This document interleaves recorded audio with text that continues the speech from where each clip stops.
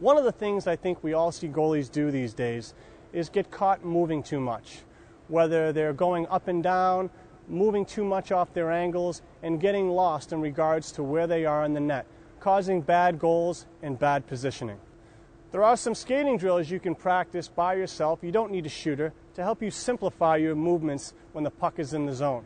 As you can see here, I have five cones that form five different angles or lanes.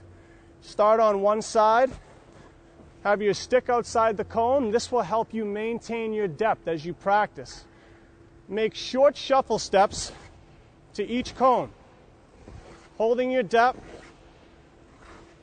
staying low in your stance at the same height, and always having your toes face up ice, facing the shooter.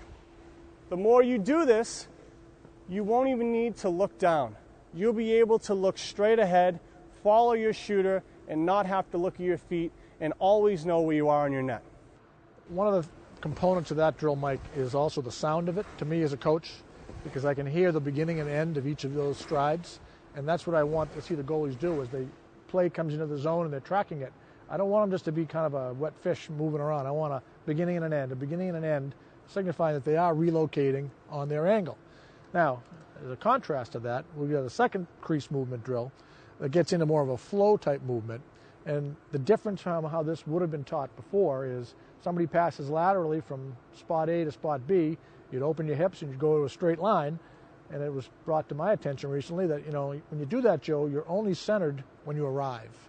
Um, I used to think, hey, that's a quick sprint. I'm going to get over there and get in the position I want to be.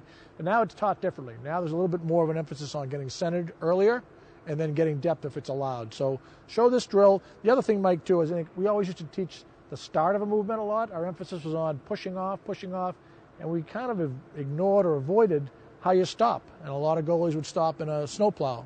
Now there's a little bit more of an emphasis on stopping on the proper foot, anticipating where you're likely to go next. So take it away. A lot of times you'll see in a game, a pass will be made across the width of the rink, causing the goalie to move a greater distance than the distance we showed before on the five shuffle steps or five lanes that we had earlier. Like Joe was mentioning, he learned going in a straight line and arriving at the center of the net right when he got to where the shooter was shooting.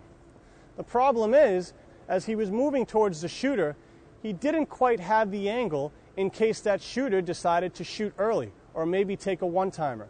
One way we can solve this is by our skating motion from left to right or right to left. And what we like to use is what they call a C step. Now, there's many goalie coaches and they all can call it different things, but I think C step makes the most logical sense where you're grabbing the lane or angle first and then working on trying to get depth and challenging your shooter. So basically, you can practice that by starting at one cone on one side of the net and moving to the other side like it's a rink wide pass. The first thing you want to move is your head, your eyes. You want to see where you're going. Is this the best player in the league? Is he a righty or a lefty? There's a lot of things you can keep in mind before you C step across.